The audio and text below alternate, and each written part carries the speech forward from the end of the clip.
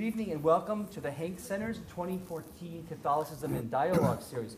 My name is uh, Father Mark Bosco and I'm the director of the Hank Center. And this is uh, our first uh, event, so very, very excited to see all of you uh, here tonight. The Hank Center, if you don't know it, especially uh, perhaps if you're students, the Hank Center uh, for the Catholic Intellectual Heritage is now in its seventh year as one of Loyola University's Centers of Excellence. And with the generous financial support of obviously Joan and Bill Hank, Joan was an alumna of Loyola and uh, her husband Bill uh, on the Board of Trustees. Um, they have uh, endeavored to allow us or to uh, basically uh, fund us uh, to communicate and to research and to connect the rich intellectual and artistic heritage of the Roman Catholic tradition. So this series, Catholicism in Dialogue, is our own small way of promoting interreligious conversation at Loyola University. Each fall semester, a distinguished scholar is invited to come on campus for two days. First, to offer a lecture, such as tonight, that draws on his or her intellectual journey around issues of religious pluralism, interreligious dialogue, and comparative theological studies. We then invite them to meet with undergraduate and graduate students in seminar style on the next day to continue the conversation. Some of you, I think, who are here might be uh, with um, uh, Dr. Clooney tonight, uh, tomorrow rather. It's a great privilege to welcome this year's guest, Father Francis Xavier Clooney of the Society of Jesus. Father Clooney joined the Harvard Divinity School in 2005 as its Parkman Professor of Divinity and Professor of Comparative Theology. He also serves as the director of Harvard's Center for the Study of World Religions. No stranger to the Windy City, though, Father Clooney earned his doctorate in South Asian languages and civilization at the University of Chicago in 1984. He then taught for 21 years at Boston College before that long voyage across the St. Charles River to Harvard, Cambridge, Massachusetts. Father Clooney's primary areas of scholarship concern theological commentarial writings in the Sanskrit and Tamil traditions of Hindu India and the developing field of comparative theology, a discipline distinguished by attentiveness to the dynamics of theological learning deepened through the study of traditions other than one's own. His numerous articles and books illustrate this trajectory, including his most recent monograph from Stanford University Press in 2013 called His Hiding Place is Darkness, a Hindu Catholic Theopoetics of Divine Absence. In this work, Clooney explores and compares this theological trope of divine absence in both the biblical Song of Songs and a Hindu text called Holy Word of Mouth. And finally, I might add, one can keep up with what Father Clooney is thinking, as I often do, by reading his regular blog, In All Things, sponsored by America Magazine. There you can find his personal and uh, insightful reflections on some of today's news and events. Tonight's program begins with Father Clooney's talk, Hinduism and Catholicism, Seeking God in All Things. It will be followed by responses by two faculty from Loyola's theology department, Doctors Hugh Nicholson and Tracy Pintchman. Thank you for joining us. Their work, in various ways, parallels or builds on Father Clooney's. Finally, we have asked two of our student leaders here at Loyola, Shil Shukla of the Hindu Student Organization and Zachary Davis, a Catholic Studies minor student, to offer a brief comment on their sense of how their own religious understanding and spirituality has been deepened and or celebrated while studying at Loyola University. Without further ado, please join me in welcoming Father Clooney to the lectern to begin our evening.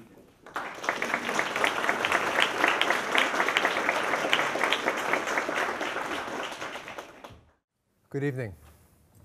I'd like to express my thanks and to Mark uh, Bosco for inviting me to be here tonight, uh, to Brett Lewis for showing me hospitality when I arrived on campus about an hour ago, um, and to, um, even before they say a word, to my respondents, I look forward to hearing from them. I had asked already and was turned down my request that I wanted to like face out this way and look at the beautiful lake while speaking, but they thought it would be bad for the video. So I just asked that you not look at the lake while I'm speaking and just, just look at me, that's all. So the, the topic we have tonight, and I'll open it up in my 45 minutes, and then we'll have our, our responses and discussion, is, is the famous well known, and I think uh, you can hardly need any explanation seeing God in all things, finding God in all things. I mean, it's one of the basic insights and charismatic gifts of Jesuit spirituality back to the beginning of the order. And it has inspired Jesuits everywhere in the world, um, right from the foundation of the society, Ignatius Loyola, uh, the founding of schools, the teaching across Europe, and then the great, great spread of the Jesuit order around the world. Uh, this great sense that God is everywhere, that our possibility is to seek, to find, to see God in all things. And this inspiring message goes back to the beginning of the society. Um, everyone knows that in the, in the very fondi- foundational document of the order, the constitutions that kind of set up the order, St. Ignatius says that those who are in formation, the young Jesuits as they begin, should be exhorted to seek God our Lord in all things, distancing from themselves love from all creatures to the extent that this is possible in order to place it in their Creator, loving Him in them all and them all in Him, in conformity with His most holy and divine will. So everything in God, God in everything, focusing on God where God can be found. Uh, Father Avery Dulles, a great theologian who was later a, a cardinal of the Catholic Church, uh, points back even earlier to the exercises, the spiritual exercises of Ignatius Loyola.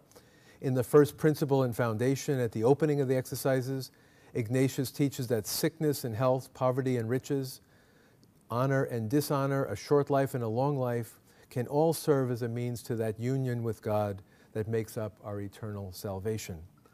In the examination of conscience, in the middle of the exercises, Father Dulles goes on to say, Ignatius writes that those advanced in the spiritual life can constantly contemplate God our Lord in every creature, in his essence, in his power, and in his presence. In the contemplation to obtain divine love, that beautiful meditation at the end of the exercises, Ignatius says, reflects on how God dwells in all creatures, especially in human beings, but also in every living being. In everything, God can be seen and found. And as Father Dulles points out, this vision kind of radiates through even the letters, the mundane documents, all that Ignatius did in his ministry.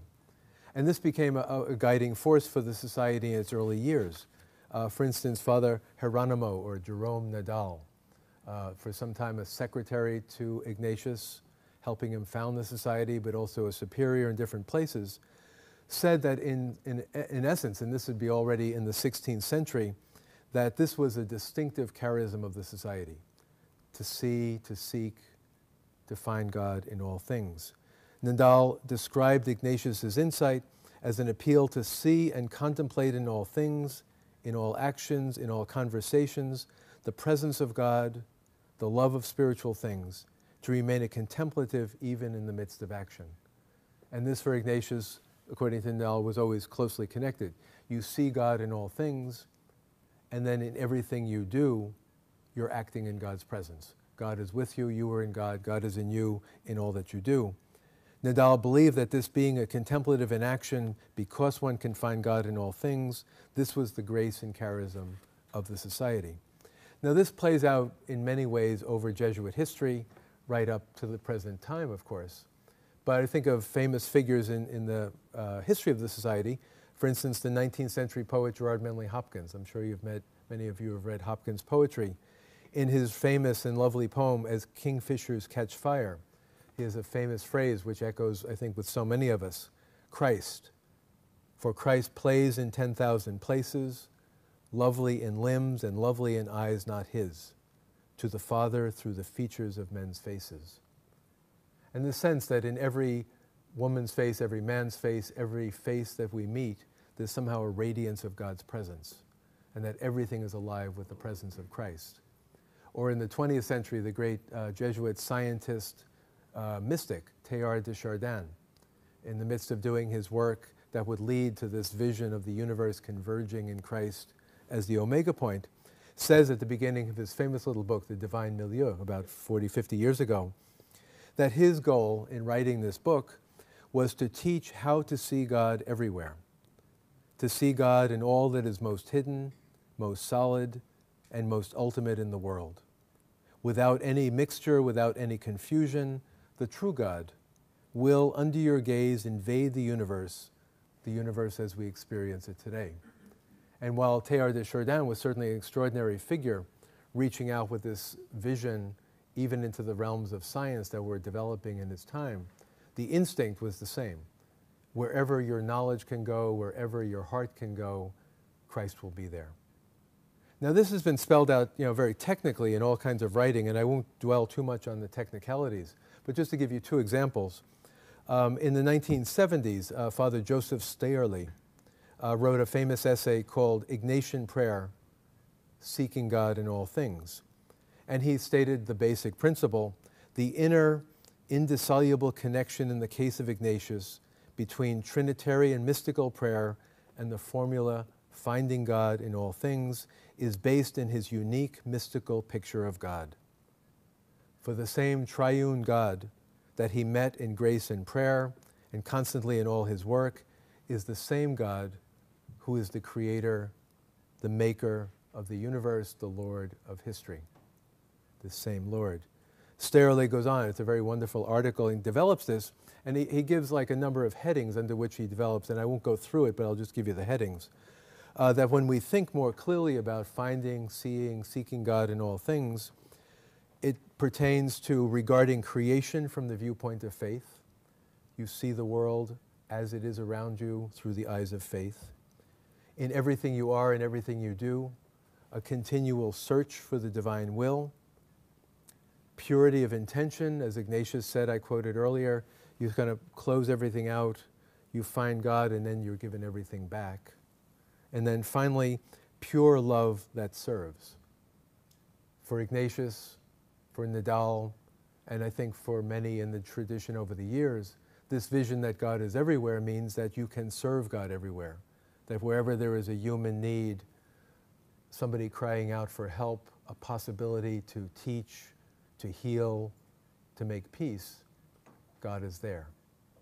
So it reaches out in many different ways. The famous Jesuit theologian, perhaps the leading Catholic theologian of the 20th century, Karl Rahner, um, he took up this point, and as Philip Endean, a scholar at, um, I think now in Paris, but had been at Heythrop College in London and visited this country many times, he goes deep into how Rahner sees that what we learn by saying that God is in all things tells us something about who God is.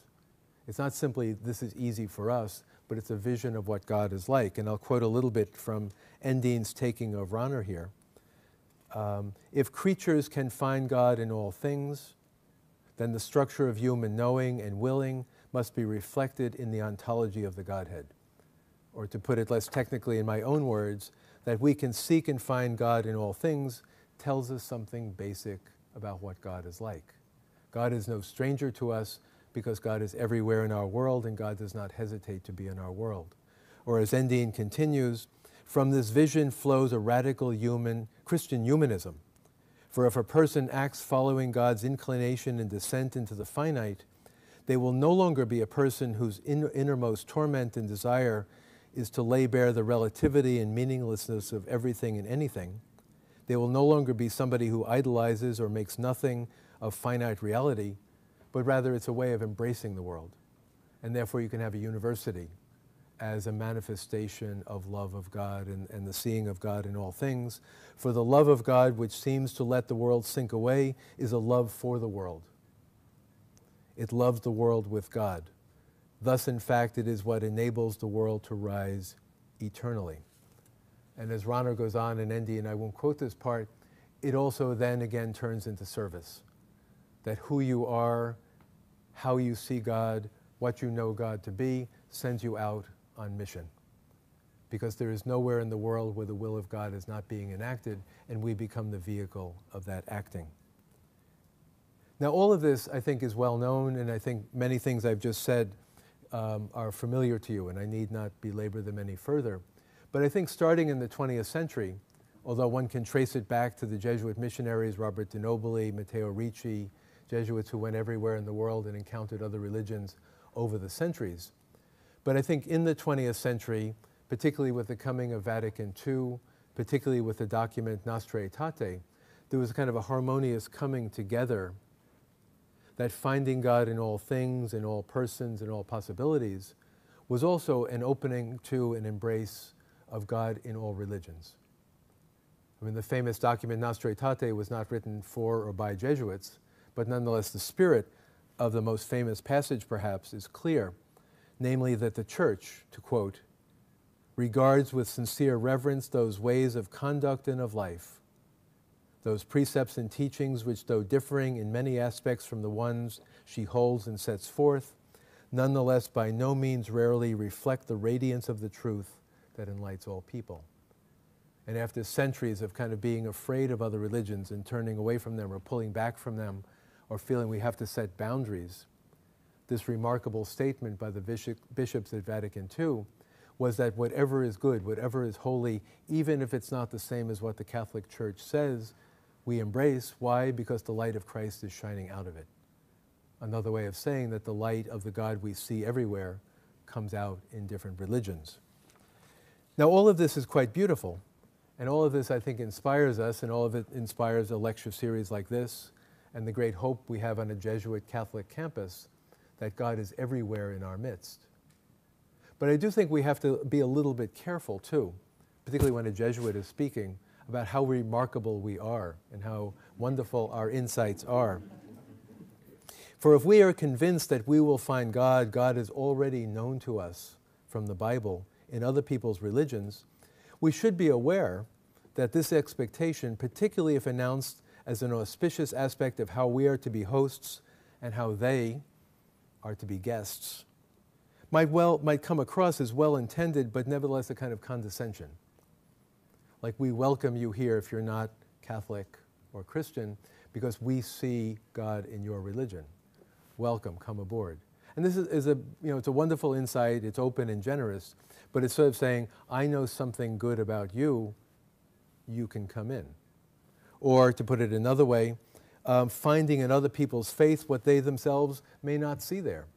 You never knew that Christ was deep within you. You never knew that Christ radiated out of your face. Oh, and you find out from the Jesuits that this is the case. So it might seem like a kind of uh, Christian know it all attitude, even with the best of intentions, that everything that happens to everyone on the campus confirms our view. There's nothing you can do, nothing you can say that doesn't in some way affirm Christian, Catholic, Jesuit views of the world. And that, I think, is a brilliant insight in some ways, but it also has to be looked at with caution because it can be so self congratulatory. And while I think it's not part of, it's not an option, it's not part of our tradition to pull back and say, okay, we don't see God everywhere, or you can't see God in all things, or God is not everywhere. No, we have to keep somehow a sense of our vision. My suggestion, and this will get me into the heart of my presentation, is really that we have to go further. Not that God is nowhere or God can't be seen anywhere, but also not simply that this is a Christian, Catholic, Jesuit gift to see God everywhere, but mainly to premise that I'm sure in each and every religious tradition represented in this room, there's a way of, of recognizing the holy, the sacred, the presence of the divine in other people's religions as well. And I think this is a point we need to look at that it's a mutual seeing. The possibility that I see God in you, and according to your background, your tradition, your family, your culture, your religion, you may see God in me. The names may be different, the power of the images may be different, but I think the deeper level of this interreligious learning with this vision of God everywhere is to say it's a two way street. I see God in you, you see God in me. What I'd like to do in the, the central section of my paper, and this will be new for most people in the room, I think, so it's a little bit more heavy duty, is to give an example from my work in Hinduism. Namely, in another religious tradition, how does it come about that in that tradition there's an instinct toward seeing God everywhere, seeing God in all things? And this is just one example from one South Indian Hindu tradition the Sri Vaishnava tradition of South India.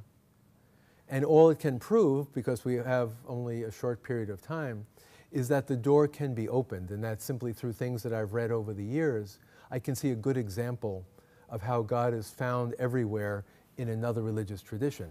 And as I'm talking about Sri Vaishnava South Indian Hindus, uh, their writings and poetry over the past 1500 years in Sanskrit language, Tamil language, be thinking of other traditions, Buddhist or Muslim, Jewish, or any of the faiths that may be represented in this room, are there resources and traditions you're familiar with that kind of open the door to this kind of learning back and forth?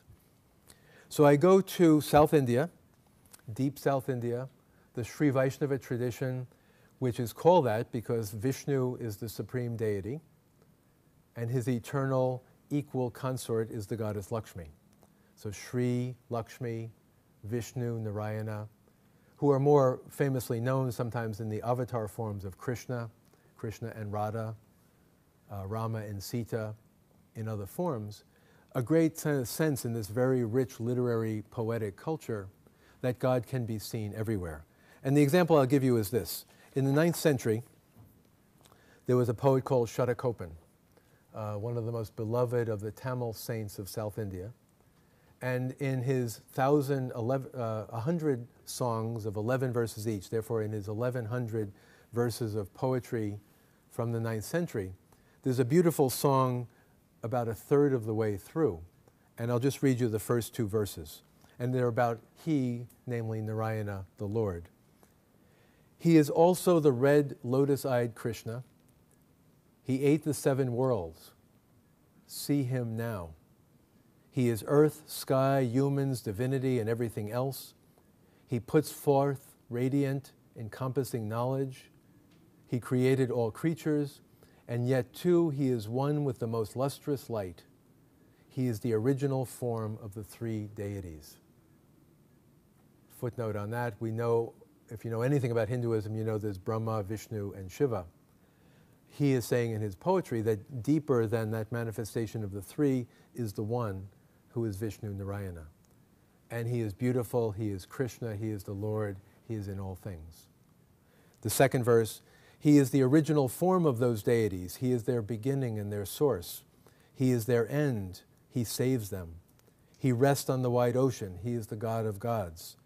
He bears the victorious bow that set Lanka on fire.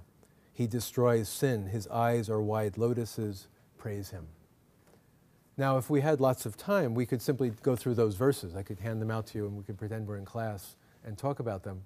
But what I'm interested for our purposes tonight, really focusing, is one particular angle that comes up when the commentators on the poetry, so reading his poetry as sacred scripture, three or four hundred years later in the 12th century, 13th century, 14th century, go to these verses and pick out something quite interesting and unusual. These verses, you can tell from the first two that I read, but it goes on for 10 verses, are really a, a kind of a positive invitation. You know, see him, come to him, appreciate his beauty, know who he is. And all the commentators in those first centuries after the poet remark on the fact this song is so different from the one before it. And while I won't have time to go into the one before it, the previous song is a scolding song. Like you people, you are foolish. You are caught up in the world. You don't have the right values. You lose yourself in pleasures. You know everything except the one God you should know.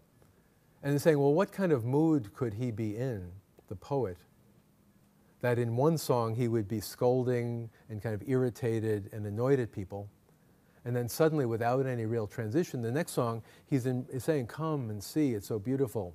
Everybody can see this. What's going on in his mind? And while the commentators um, explain it in various ways, uh, the, the clearest explanation given by the great commentator Nampillai in the 13th century, he says, Well, this reminds me of the other scriptural passage. It reminds me of when Sita was captive on Sri Lanka and if you know anything about Hinduism, you may have read the Ramayana or some version of that story, where the great Prince Rama, through family intrigue, is exiled into the forest for 14 years. And his wife Sita goes with him, and his brother Lakshmana goes with him. And they're dwelling in the forest during this exile. And then, partway through the exile, she's kidnapped by Ravana, the king of Sri Lanka. And she's taken off to Sri Lanka. She's held kind of in a garden and every day he comes and kind of says, Look, forget about Rama. He's not coming for you. He's not going to save you. Marry me, and you'll be my queen. And he won't touch her, but he keeps coming every day and saying, Listen, you've got to give in. You've got to consent to be my wife because your husband has failed. He has not protected you. And the commentators then say, well, how did Sita respond to these entreaties from Ravana, who'd kidnapped her and is holding there against her will? And he says, well, just like the poet in the verses I read, on the one hand is very appealing, very open, saying, Go to the Lord and see the Lord, having just rebuked the people, saying, You're not paying attention, you're not listening, you're not doing the right thing. So too, when Sita talks to Ravana, on the one moment she's scolding him and saying, You fool, you've just ruined your life, Rama will come and kill you, your kingdom is over, Lanka will be burnt to the ground, you have no hope. And then say, But Ravana, it's not too late if you go to the Lord, if you go to Rama and put yourself at his feet, he will forgive you, he'll restore you to your throne because he never forgives anyone who comes to him, him with good intentions. And you say, it's just like that, where on the one hand, rebuke, criticism, scolding, and then suddenly the next moment, praise him, love him, see him, and he will care for you. Now you be, may be wondering, what does this have to do with the theme of seeing God in all things? The commentators, and it's very much like reading any traditional uh, form of commentary, they're always thinking of other texts when they talk about any text.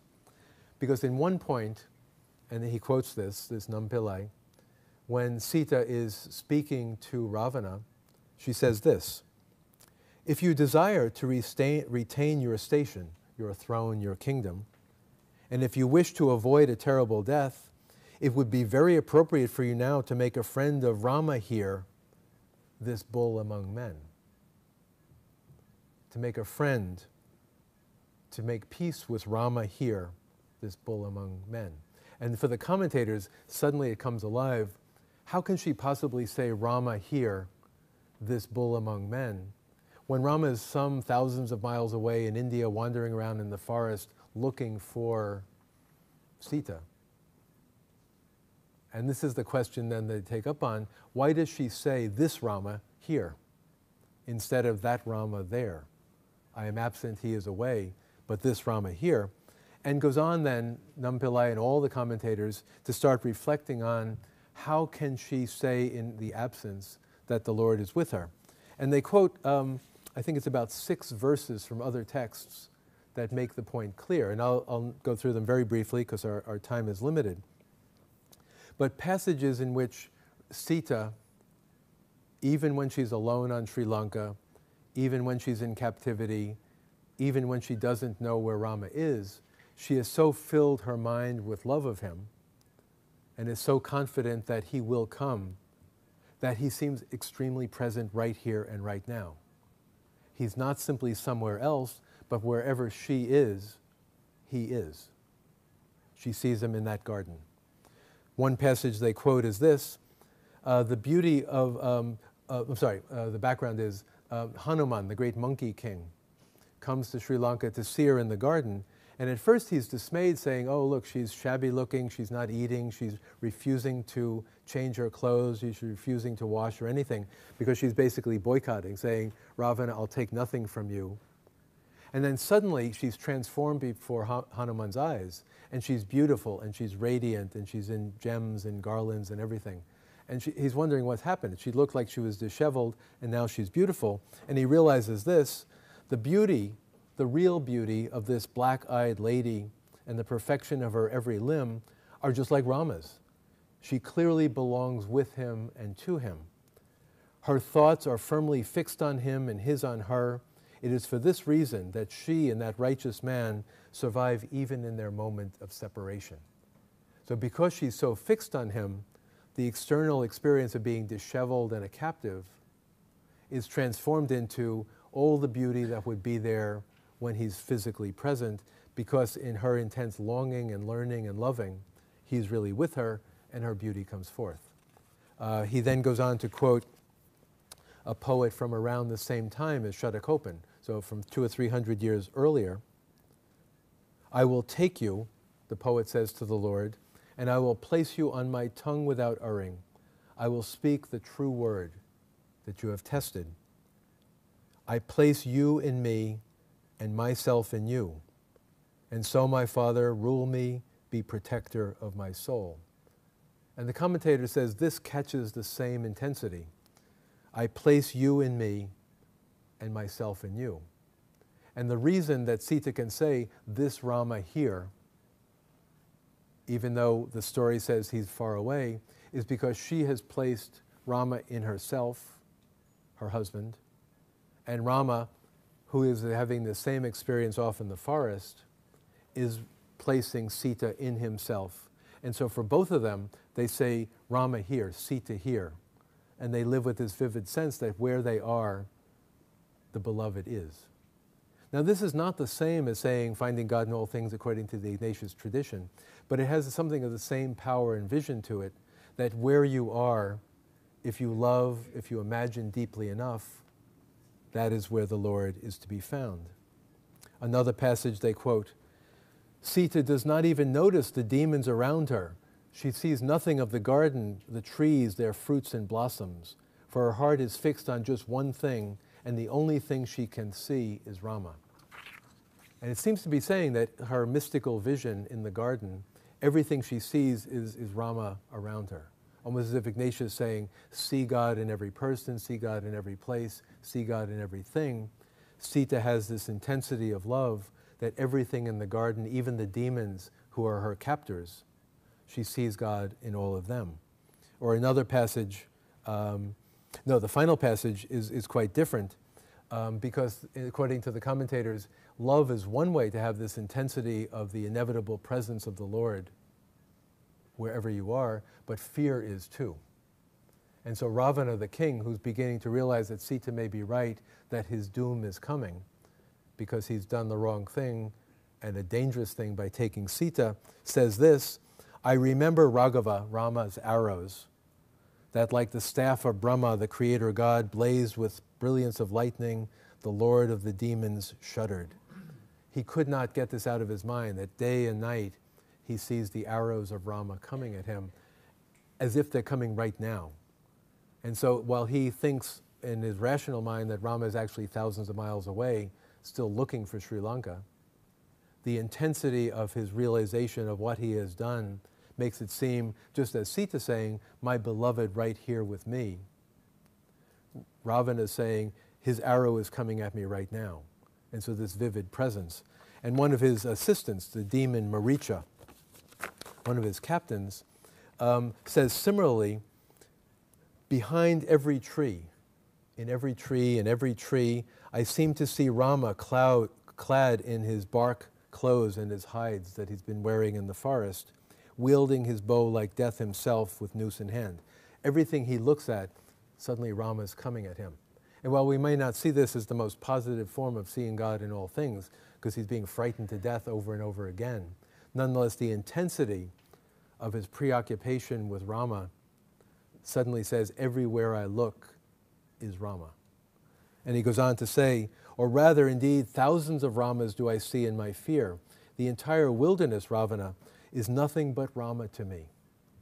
Which is a beautiful insight, even though it's in fear and he's in dread of being killed, as he will be later in the battle. That there's nothing but Rama, there's nothing but God. And I think Ignatius would recognize that this is something like what he is saying.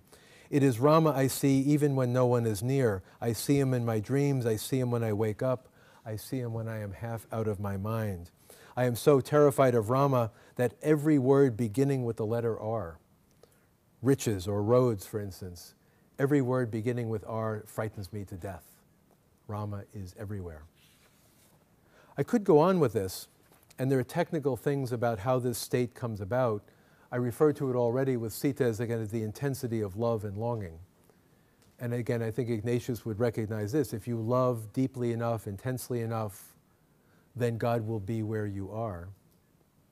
But they also have in medieval Hinduism a meditative practice that any of you who do yogic practice uh, with some kind of visualization stream to it would be that you can cultivate this state and you focus and focus and focus and you conjure in your mind the, the presence of the one you want to see. Uh, could be Christ, could be a, a, a, broader image of God, it could be a goddess, uh, could be whatever is appropriate to your own practice or religious tradition. But the intensity of seeing it makes it seem real and in your presence. And in a number of the passages they talk about this externalization of the form, it goes from being a mental state, like you close your eyes and think about it, to seeing this vivid presence before you and you reach out to touch it. And that this state of somehow conjuring the one you love in front of you becomes a meditative practice by which every direction you look, you see that one. And it's so vivid and so real, you think you can reach out and touch. So there's a lot of layers of meaning, and we could go back um, and think about this in terms of the spiritual exercises. How is it that you contemplate the presence of God or see God in the exercises of Ignatius? Really, in the Sri Vaishnava tradition, which again is just one of many examples, again and again you intensely visualize until the one you love is standing before you and you begin to exchange. I could go on with this example, but I think you get the point that this single example, based on one verse from one Hindu tradition in South India, opens the doors to saying, well, in that tradition too, there are the spiritual grounds, the grounds in, in practice for saying that God is not simply there or there or there, but God is everywhere around. And it could be through, again, the, the passion, the love of a Sita who sees Rama everywhere, or Rama in his longing for Sita who sees Sita everywhere. But even through these negative emotions, fear, dread, realizing that the Lord is everywhere. And what's interesting about this in part is that it's not the same as Ignatian spirituality. It's not the same thing. But there could be kind of a meeting point in saying, from very different starting points with very different understandings of reality and what the Lord is like, suddenly we realize we're both seeing God everywhere and in all things. And I think that is a very interesting step to take. I'd like to mention four things that I'm not going to talk about because I, I want to um, finish fairly quickly. One is that with like any kind of comparative study, if you do any kind of comparative work, anything you say raises more questions than you've answered.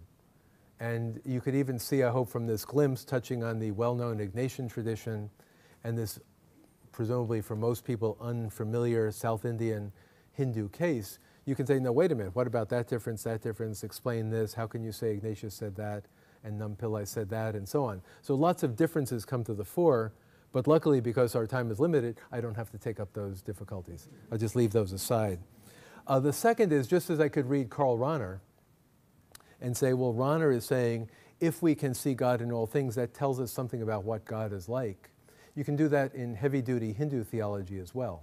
So the great Hindu theologian uh, who inspires many of these commentators, Ramanuja, some of you may know that name, Ramanuja, he has a, a very complex Vedanta theology in which he ba basically says that the, the ultimate depth of every reality is God and the ultimate meaning of every word is the name of the Lord.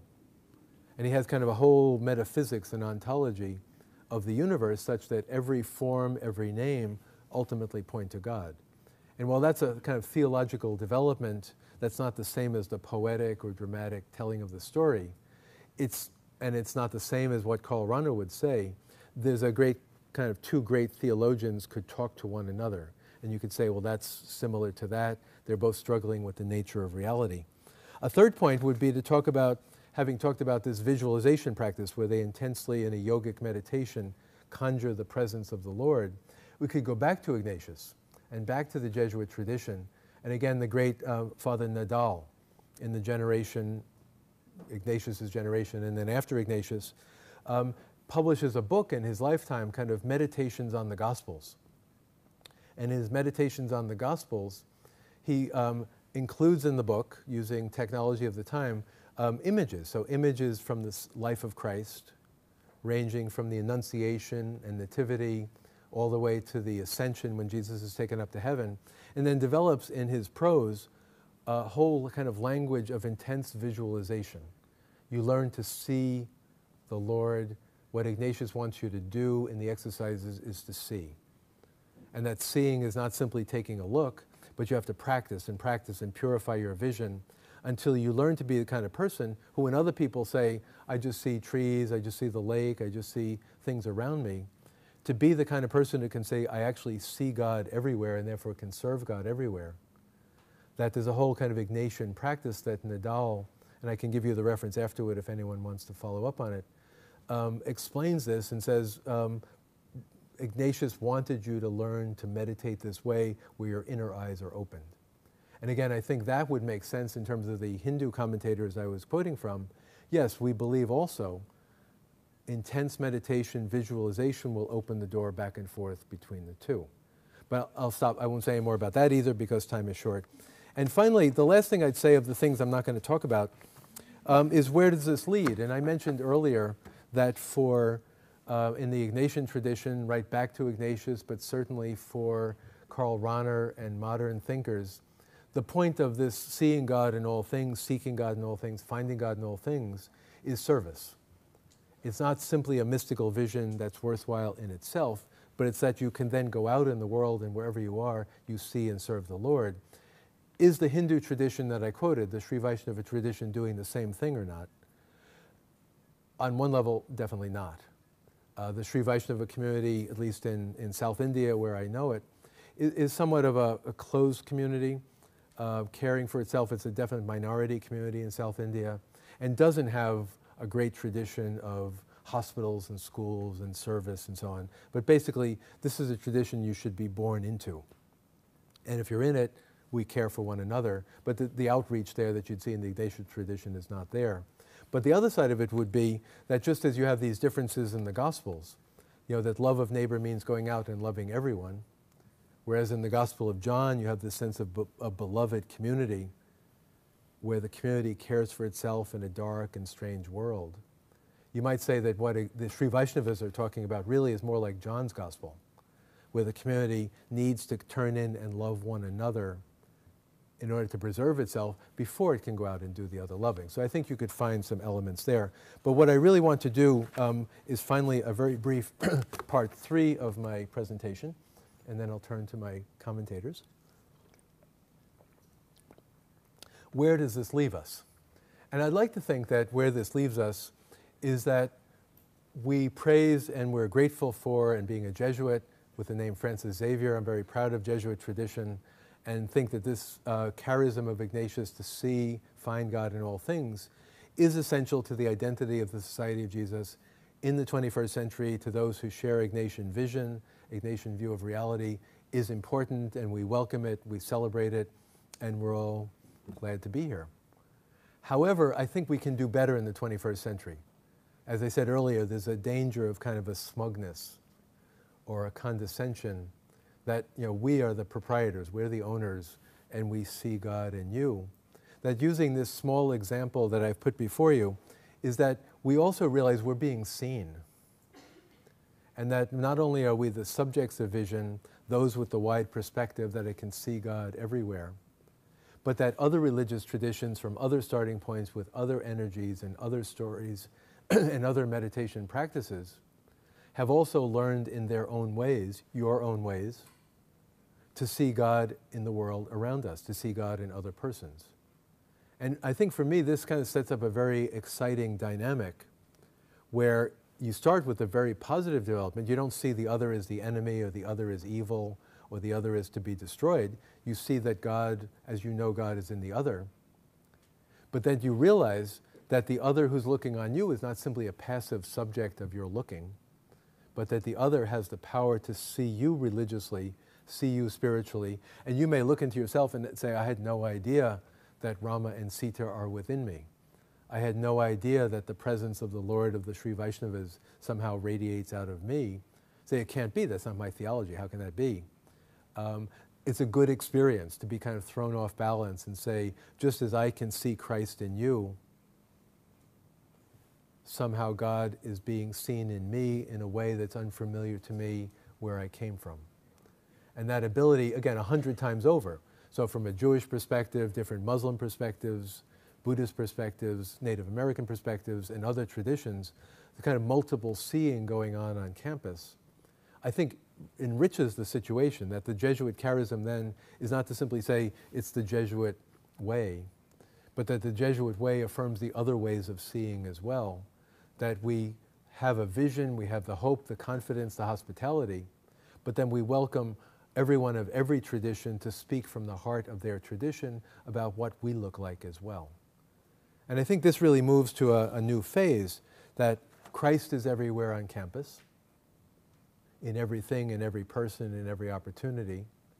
But that also, if one is a pious Sri Vaishnava who knows their own tradition, Rama, Sita, Vishnu, Lakshmi are everywhere on campus. And that Rama, Sita are in you, are in me. And you can say this Rama here, this Sita here, when you look around at the people around you. And again, Buddhist, Jewish, Muslim views that this would be a, a multiple seeing. And I think this really moves us to another level because, in some ways, what we need in today's world is not simply neutrality or secularity.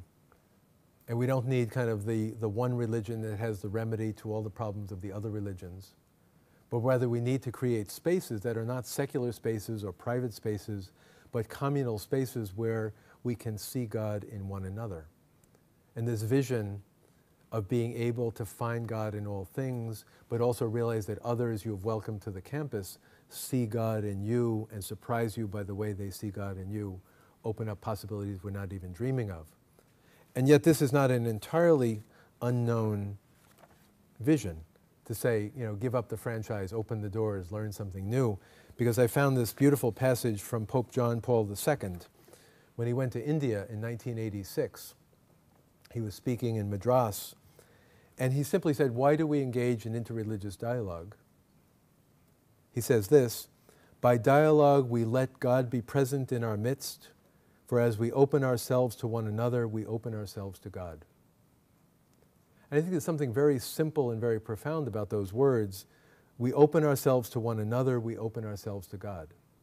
And I think in some ways, I'm really enriching that point by what I've said to you tonight, by way of example, that the opening is, that, as Hopkins would say, you see Christ in every face. Um, you see that everybody somehow radiates the, the Vatican II spirit of the light of Christ. But that likewise, every religious tradition with its insight into the nature of reality is shining its light as well.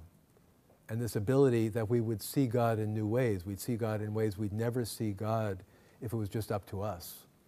But rather by the mutual seeing and seeing one another, we open the door. The last thing I'll say, and then I'll turn things over to my um, respondents, is that this is a, an enormous challenge to make this a reality on any campus. Um, it's not an easy thing to do. It's hard enough to keep a single religious vision alive on a campus in the 21st century. But the ability to say, we really want it to be an interreligious, intellectually alive, emotionally charged, spiritual environment in which all the religions flourish and all the visions of how God is present are recognized by one another is kind of a strain. It can give you a headache if you think about it enough. But I think the point is to say that that's where religion is going. It's not, we're not going to a merely pluralistic situation. We're not going to a merely secular situation. We're not going back to a single religion solution. But what we are heading into is a deeper and richer sense of seeing God in one another wherever we're coming from. And I think it's particularly appropriate at Jesuit University with the Jesuit charism of seeing God in all things to say, we have this long tradition. We're simply liberating it now. We're opening the doors so that we welcome everybody's vision of what God looks like in all the faces on campus. And we will continue to learn from one another in the years to come as a spiritual reality, a campus ministry reality, a retreat reality, a classroom reality, a thesis reality, et cetera, et cetera. This vision is intellectual and spiritual, and it challenges us to be a truly, I would say, Catholic, inclusive university inspired by Ignatius, but then Ignatius, as I said, liberating everybody else's vision of reality as well. And with that, I will stop. Thank you. I particularly appreciate the way uh, that uh, Professor Clooney has um, breathed fresh life into this, to this beautiful Ignatian phrase that we hear a lot on campus, seeing God or finding God in all things. Like a skillful poet reawakening a metaphor whose evocative power has been dulled by frequent repetition and overfamiliarity, I think Frank's reflections have allowed us to experience, certainly has allowed me to experience, that formula in its original power and depth. And the comparative or interreligious aspect of Frank's reflection plays an integral role in this task of rediscovery. Reflecting on the Jesuit ideal of a sacramental vision of the world in light of the devotional text of the texts of the Sri Vaishnava tradition, has offered a fresh perspective on the former. I'd like to focus on a theme that um, Frank touched upon. Actually, in my the original text, I have more or less implicit in the comparison Frank has presented, but then Frank spoke very eloquently about precisely this dimension. So um, I, I think I might just add to it a little bit. This is the integral role played by the imagination in fostering this sacramental vision of seeing God in all things. Prima facie, this, the, this positive role of the imagination jars with the rhetoric of receptivity that characterizes the spiritual or mystical writings in many traditions. The vision of God in all things, or in, in the non theistic idiom of Buddhism, seeing reality as it is, results from clearing the mind of thoughts, images, and concepts. One thinks, for example, of the Zen Buddhist image of the mind as a mirror that must be cleansed of the dust of thought, or Meister Eckhart's wonderful comparison of the spiritual preoccupations comparing them to the money changers whom Jesus chases out of the temple from the, from the gospel narrative. Only when Jesus is alone in the temple, the temple here serving as an allegory for the soul, will Jesus begin to speak. Now, this rhetoric of cleansing the mind or heart to be open to God conveys a fundamental truth about the spiritual life, of course, in both Hindu devotionalism and in Catholic spirituality.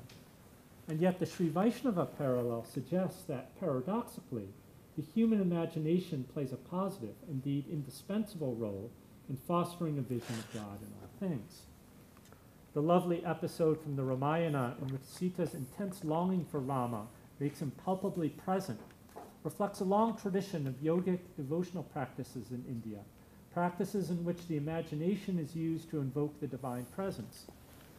Significantly, the Sanskrit word for the imagination in Sanskrit literary theory, bhavana, literally bringing into being, is the same word that is commonly translated as meditation in Buddhist texts.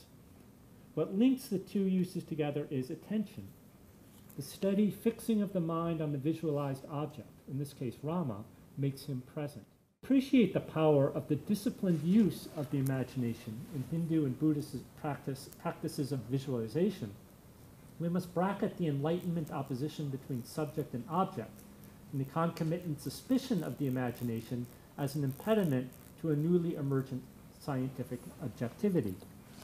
The worlds called into being through the Indian imaginative praxis are, as the Ind- Indologist David, David Shulman argues, is, quote, more than real, in that the divine is more present in those worlds, sustained as they are by the unbroken attention of the devotee, than in everyday life. Rama, for example, is argu- Rama is arguably more present to the captive Sita than he was to her in the flesh before her abduction. Now, at this point, we, we can return to the Ignatian tradition, specifically to Hieronymo Nadal's teaching on visualization that Frank mentioned. This is one of the themes that Frank wasn't going to talk about, but he actually talked quite eloquently about it. Uh, as I understand it, meditation, meditation, I think in, in sort of the tradition of Christian spirituality is, um, um, is, is contrasted with contemplation. It's a more, it's a discursive process. And in, in Nadal's case, um, it consists in imaginatively placing oneself in the gospel narrative, standing beside the disciples with the risen Christ before the ascension, for example. Imaginatively entering into such a world is a technique for evoking certain Christian feelings, attitudes, and dispositions. Here, the imagination is used to institute a break with habitual patterns of experience in which the divine presence is eclipsed by more immediate concerns and everyday distractions. So I think that the parallel that Frank presents here uh, highlights, affirms, and valorizes the role of the imagination in Christian spiritual practice. It also highlights the way that attention sustains the experienced presence of the divine. Attention, the cultivation of which is so central in various Indic traditions of yoga and meditation, links the faculty of the imagination to the sacramental vision of God in all things. Thanks. It's really very much a pleasure to be here. Um, and to respond to Frank's paper, although I feel ill-equipped uh, to do so in some ways, not only am I not a Jesuit, which I hope is obvious, um, but uh, I'm not Christian. I'm not either also a Hindu. I don't self-identify with either of those categories. I am a historian of religion in South Asia with a specialization in uh, the history and ethnography of Hindu traditions. Um, and so I will, of necessity, respond to Frank's paper from that perspective, and I will leave it to Shil um, to speak from a more explicitly Hindu perspective in responding. First, a summary. Frank's line, line of argumentation, as I understand it, is that the Jesuits, a part of being as old as I am, I thought the lighting would be better over here than over there. Nope. It really isn't. So, um, so I'm going to be doing this. That's why I sat here. By the way. yeah, it's pretty lousy over there too. Frank's line of argumentation, as I understand it, is that the Jesuit call to see God in all things should be extended to finding God in other religious traditions. This move includes being open to seeing, and I'm quoting here from the written uh, version of the paper, so I will try to be mindful of, um, of things that um, were in the written version that were not in the spoken version tonight. Uh, this move includes being open to seeing how others see Christians and how other traditions also see God in all things from their own perspectives. To illustrate his meaning, he reflects on the ways that the Tiruvaymoli presents its own version of seeing God in all things. Finally, he argues that this kind, the kind of mutual recognition he is advocating generates an important and largely new interreligious mo- uh, movement, and this was uh, in the written version of the paper. It was implied in the spoken version an advanced course, so to speak, in which people from different traditions' perspectives can together encounter each other face to face, subjects for one another. It also represents a challenge to any Jesuit university that wishes to cultivate a Christian and Catholic and interfaith sensibility, in as much as such can be cultivated by the intellectual work done on campus, in a way that does not merely privilege the Ignatian perspective. Fair summary? Hmm. Very good, Okay. thank you. Now, as Frank so ably demonstrates, no one has ever owned exclusive rights to the seeing God in all things fran- franchise, to use Frank's word. Certainly, there are Jewish, Islamic, and other religious texts that all articulate a vision of God's omnipresence in ways that resonate to at least some extent with the Jesuit vision, as far as I understand it, albeit using different vocabulary and naming the experience in different religious terms. Even with respect to Hinduism, Frank could have drawn upon any one of a number of Hindu texts, including, for example, the Upanishads, which date the life of Jesus by around 500 to 800 uh, years. Since experiencing the divine as a presence that permeates all of existence persists as a major Hindu theme across almost 3,000 years of scriptural history. Who's in my class? Kathy, you know all about the Upanishads because they're going to be on the test next week. Anyone else? Not, you're not admitted. Um, the Upanishads so articulate this vision of the divine power that's called Brahman, described as all being, all knowing, infinite, beyond transformation. They'd be making up this, not that, in, uh, in via negativa language. In many Hindu philosophical and devotional environments, Brahman is ultimately understood to be ultimately nirguna, beyond human knowledge, beyond material attributes. But Brahman assumes attributes and takes on form to become knowable to all individual beings. Hence, diverse experiences of seeing God in all things may be equally valid, as the divine may assume an infinite variety of forms. But I want to push further on this language for a moment and return to Frank's thoughts about the instances in which talk of seeing God in all things might serve to divide rather than unite, especially in the undergraduate classroom. Here, what I want to do is pose a series of questions or thought, thoughts um, that are really standing with Frank and his paper, and I'm posing these questions really to Loyola and to us in the community. Here I'm thinking in particular about the non religious, including the vast number of Americans who claim to be spiritual but not religious, as well as the large and growing number of nuns, that is N O N E S, N U N S. That is, those who we would think of as religious but would not be as at home with God talk. Um, those such as Theravada Buddhists, those who reject traditional historic religions, such as spiritual feminists, and those who have plural religious identities, such as Hindus or Bujus, for example, right? Hindu Jews, Buddhist Jews, um, or Buddhist Christians. How might one engage in this important and largely new interreligious moment if one does not have a theistic commitment and does not identify with a single traditional religion? I've heard it said many times on this campus that at a Jesuit university, it's the Catholic tradition that hosts the dialogue, so it's natural to use theistic language. And that argument certainly has a certain kind of legitimacy, namely one that's based in institutional identity. Yet Frank knows quite correctly, I think, that this kind of language, particularly, it's in here I'm quoting from the written paper, as an auspicious aspect of how we are as hosts and who they are as guests, might also be an intrusion. What implications are there, if any, for how we do business at Loyola University Chicago if we take Frank's point about this issue seriously? Most important, I would say, is the question of how we go about engaging thoughtfully non-theistic and even atheistic perspectives and arguments. For doing so, I would argue, should be the work of all truth-seeking. Can such work be part of Frank's advanced course? Should it? These are questions to think about. Along these lines, I would argue further that for many reasons we need to interrogate closely the often invoked, and yet I would, ultimate, uh, I would argue ultimately unhelpful opposition between religious and secular, with one being valorized over the other. First, these are such broad categories that ultimately they become useless. Second, let us not forget that secularism in Europe was a response to the horrors of the holy wars, such that it sought to establish common ethical norms based in reason, and hence has historically great value, I think, for all of us. Third, what counts as religion often has very secular interests, money, sex, or political power, for example, and what counts as secular is often quite religious intent, as in civil religion, for example. List goes on. Frank notes that every understanding of the spiritual path and spiritual vision has or should have social and communal implications, and that the mutual vision of God, seeing and being seen, can change radically the context in which all the rest of our thinking takes place. It is explicitly stated in the written version and implicit in the spoken version. Here I see great promise, and I would welcome more reflection and conversation both from Frank and from us in the community about the social and communal results that Frank rightly suggests are worth pursuing. We all know about the stories of religious conflict and religiously inspired violence that have been taking place around the world for the last six months, but really forever um, and the enormous suffering that ensues. Talk of seeing God and the religious others should help support the work of moving beyond such conflict. But how exactly?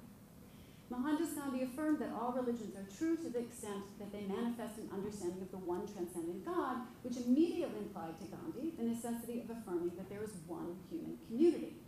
Hence, conflict must be managed in a disciplined way that acknowledges the full humanity components.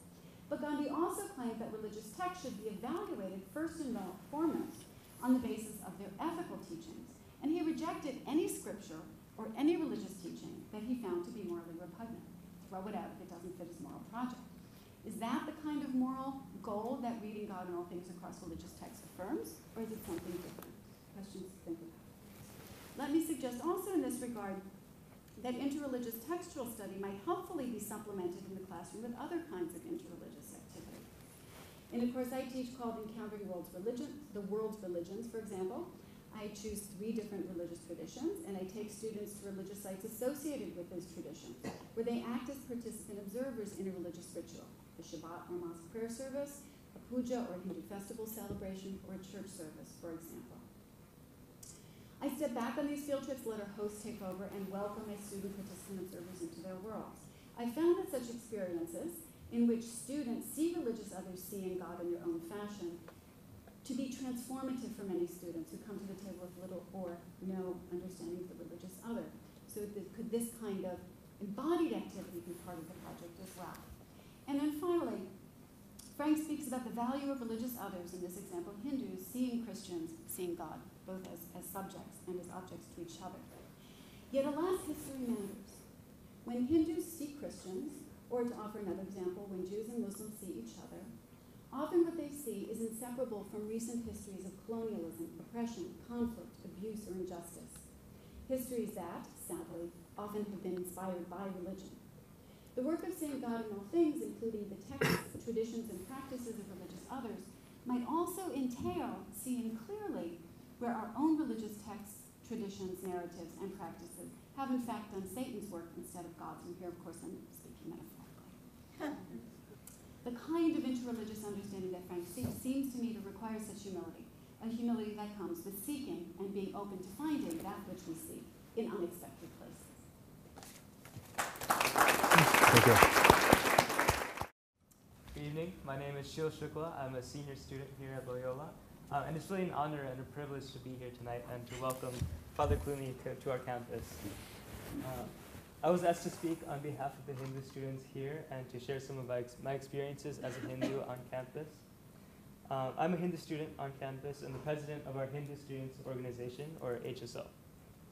To my knowledge, there are roughly 300 students on campus who identify as Hindus. And before coming to Loyola, I did not expect such a large Hindu population on campus, and I learned more about the Hindu community uh, at Loyola through my involvement with HSO. The Hindu Students Organization started 12 years ago here at Loyola with a small prayer space in the Mundelein Center.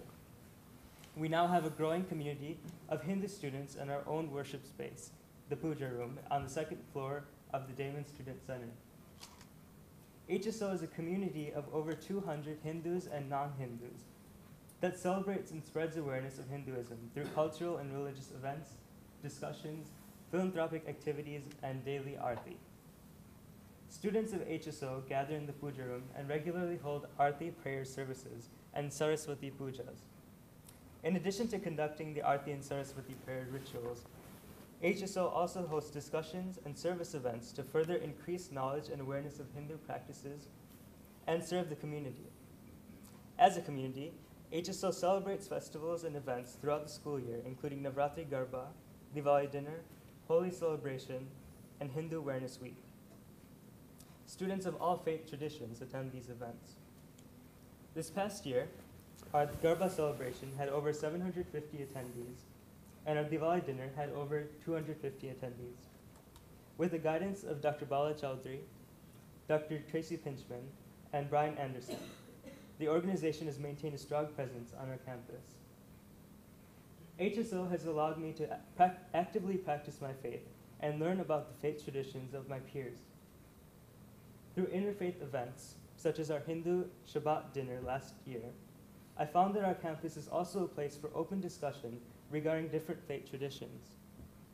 My experiences at Loyola have exposed me to the basic tenets of Ignatian spirituality, and I have found commonalities between Catholicism and Hinduism through the Jesuit values and traditions. At the end of his talk, Father Clooney talked a little bit about the notion of service um, with regard to Hinduism and Catholicism. Specifically, uh, I have found that the value of magis aligns closely with the Hindu ideal of seva, or selfless service. I would like to share the words of my spiritual guru uh, or teacher, uh, Param Pujya Pramukh Swami Maharaj. In the, joys of, in the joy of others lies our own. Loyola's emphasis on social justice is close to HSO and Hinduism and me as a Hindu student, uh, as we participate in a multitude of uh, philanthropy activities, including tutoring and fundraising for charity. Similarly, the Jesuit value of cura personalis has also resonated with me. I could not have asked for a better experience as a Hindu student at Loyola, and I'm grateful to campus ministry, HSO, and the diverse student body here at Loyola for this experience. Thank you. Hi, th- thanks everyone. Uh, my name is Zach Davis. I'm a senior here. I study philosophy and theology, and I'm a Catholic Studies minor. And I just wanted to say thank you and welcome to Father Clooney and you. Father Bosco and the Hank Center. Um, when I came to Loyola my freshman year, I didn't really have any expectations as to what it meant to be at a Catholic university. I had been a student of the public school system my entire life, uh, but whatever going to a Catholic school meant, I remember feeling excited. Uh, my first two years here were spent situating myself in my own tradition. I frequented the Mass, joined the Catholic Students Organization, and made a lot of Catholic friends with whom I could talk about our shared faith.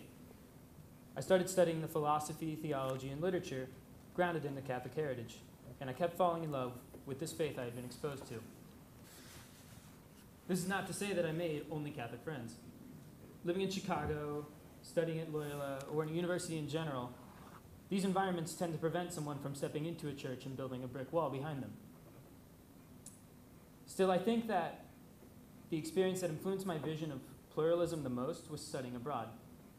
My junior year was spent uh, splitting time between the Loyola's Rome Center and Beijing Center. Uh, both of them pushed me in their own ways. Rome, which was supposedly a place where I was surrounded by Catholicism, nonetheless challenged my perception of Catholicism.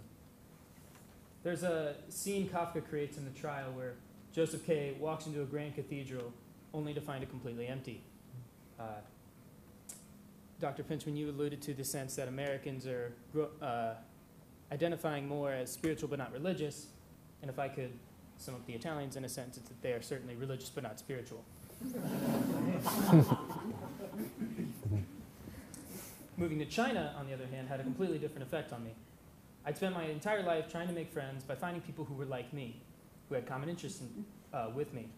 And I can't really blame myself for this. Uh, that seems to be the standard advice we're all given growing up. Uh, even the more mature version of this doctrine tells people to look past differences as if they aren't there, and look for unity in humanity and culture. Being dropped in the middle of a Chinese university, I uh, opted to live with a Chinese student. Um, I didn't know him.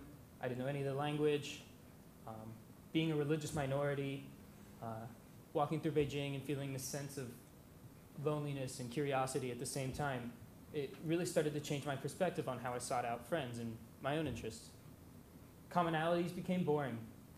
I wanted to know what made me, the people I met, the places I visited different. Relating this experience about back to what it means for me as a Catholic to study at a Jesuit university with a religiously pluralistic population. I think too often I used to worry about the assertion of someone else's beliefs was a direct threat to my own belief system. Now, I think that these threats are more healthy challenges, which prevents faith from becoming an ideology. Also, I think that an emphasis on unity, this constant searching for how are we alike, is actually contrary to the message of Christianity. The Good Samaritan does not try to negotiate or recognize the neighbor as someone who he can assimilate into his own identities. Rather, he shows him mercy because of, and not in spite of, their differences.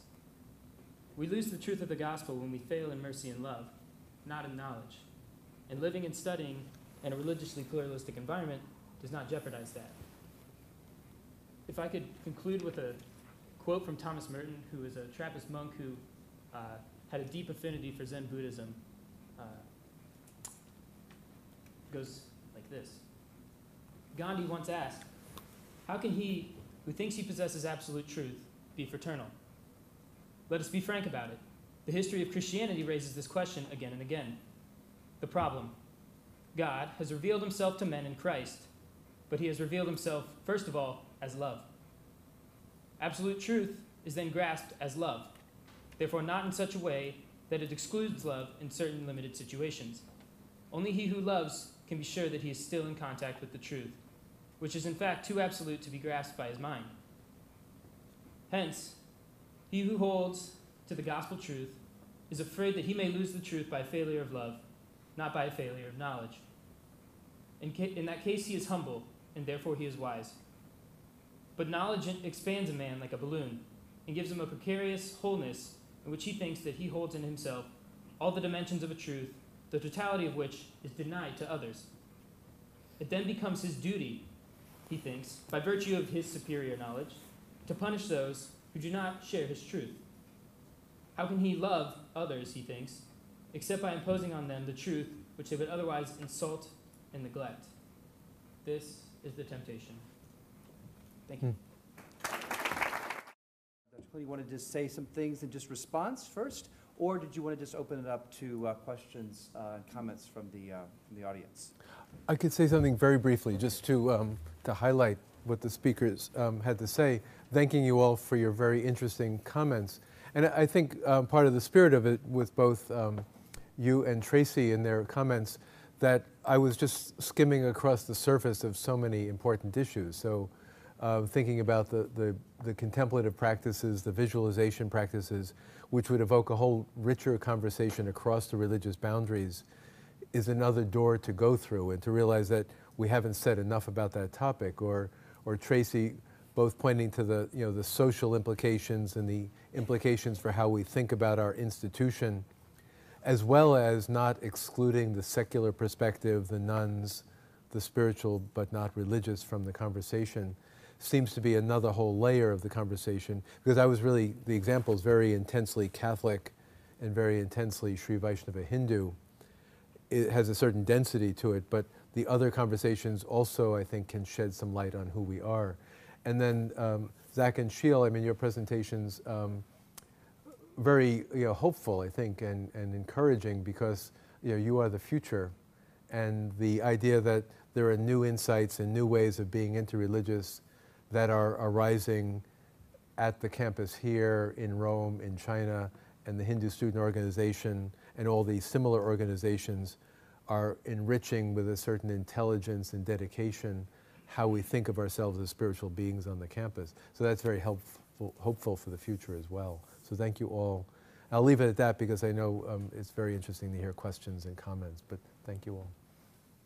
Many scholars suggested, many scholars uh, suggested that we use the phrase glimpsing God in all things, or even more nebulously, sensing God in all things. Seems those terms, those phrases would be a bit more, a bit more humble and more open to other traditions. I, I think that is a very basic insight that we need to listen to. I mean, even as I was speaking, you know, I'm shifting language, you know, seeing God in all things, seeking God in all things, finding God in all things. Even in the Jesuit tradition, as I read it, you sort of go back before, you know, between seeking language and seeing language. But I think the whole, um, you know, the medieval tradition of Christian spirituality about awakening all the spiritual senses. So there may be things you see, things you hear, things you taste, smell, and touch, but imperfectly. Um, I mean, there, there is a sense of, um, of finding that is recognized, but I think perhaps some sense of the, the imperfection of it, the glimpse, the partial gaze, would perhaps reflect the reality in which we are found. Perhaps there's a kind of idealization of it by saying you gain the full insight, whereas in fact we're always falling short and our meditations are distracted and so on. And that might alleviate and relieve us a lot of the pressure of, of promising too much or pretending to have claimed too much. Thank you. Hi, uh, I'm from the outside world. I don't go to Loyola, I'm not a student. Okay. I'm just from the neighborhood. And, but I am a volunteer uh, cultural tour guide for the city of Chicago. And people coming in from all over the world come to the city to see what we have from a cultural perspective. And the most popular and most growing tour that I conduct is the one to see all the cultural religious festivals. So people come to Chicago to see Ratha Yatra, the Chariot Festival. They come to see the various other festivals, uh, Kathina, which is a Buddhist festival. And they're going on all over the city. So what you're talking about or maybe alluding to is, seems to be having a worldwide interest. And it's exploding here in Chicago. And if Loyola wishes to step into this, the new street that you just guys got, over there would be a great venue in which to allow these places or these events to take place. Mm.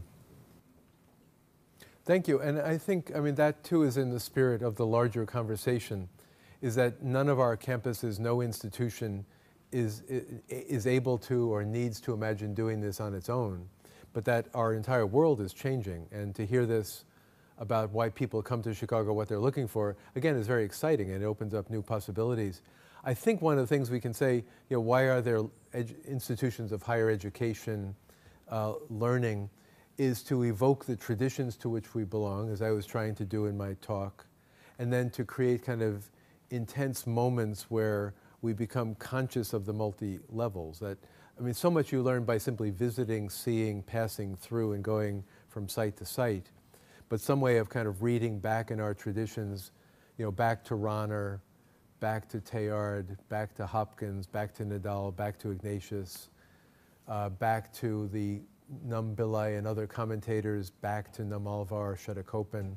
All of these things also kind of give us a depth that the luxury of having a campus and study on the campus doesn't do it on its own and doesn't replace what's going on more excitingly in the wider world, but kind of that kind of intense intelligence with spiritual eyes open reflects on a campus what's happening around us. And I'll, I'll leave aside the question of whether the, the new street should be used for this purpose. That's, that's local politics.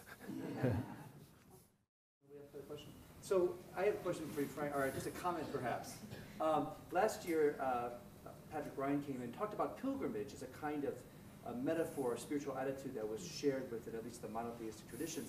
And as I heard you speak about about this kind of relationship between uh, seeking God in all things, or seeing, finding God in all things, and the sense of a kind of a, a searching or a questing to see where these commonalities. It seems to me that that metaphor, on its very, the very nature of that metaphor is that you, when you're going on a journey, you don't know what's, you- you're seeing things newly, uh, in a new way. You're perhaps seeing uh, the face of us, the other, uh, in a new way. You're having to negotiate it, not from usually a place of power or mastery, but as a place of, of companionship at, at best. Do you find that that metaphor is part of comparative theology, or is that also part of perhaps a way of thinking about um, uh, putting in relationship, you know, Hindu uh, spirituality? It seems to me that, and, and Christian spirituality. You mean specifically the image of the, the pilgrimage. Pilgrim, yeah. I mean, I, I think in some ways, and this I think came out in um, our responses from you and Tracy in particular, that the that there's no kind of single moment to accomplish this, and the first question as well. We don't simply do it, we're done with it, and then move on. But it's an ongoing practice. It's a discipline. It's a spiritual exercise that takes a very long time to accomplish. So it's, it's, it's being on the path, on the way. I think this also, though, can spill over into the very the more specific practice of pilgrimage, and that the fact that there are both in our consciousness, our memory, our traditions, and that around us there are holy places, and that one can go to Rome or Jerusalem or holy places all over India and elsewhere. Um, the journey, the travel, the strangeness, the unfamiliarity of the language, the letting go and traveling with less, all can be part of the process. I mean, in another context, in India last winter, I gave a paper at a conference on pilgrimage in, um, in Pune, in India. And I again appealed to the, the Sri Vaishnava tradition, again on the, on the Hindu side, about how is it that if God is everywhere, that certain places can be more intensely filled with the presence of God than others. And the example that was given in one of the commentators again was that, all right, we have groundwater, and, and somehow deep below the earth is this kind of uh, sense of the, this is before the groundwater was depleted, but nonetheless there was groundwater everywhere. But that on the surface, when people are thirsty, they need these intense pools of water that are accessible and deep and drinkable. And that there are, the presence of God can be more intense and deeper in certain places.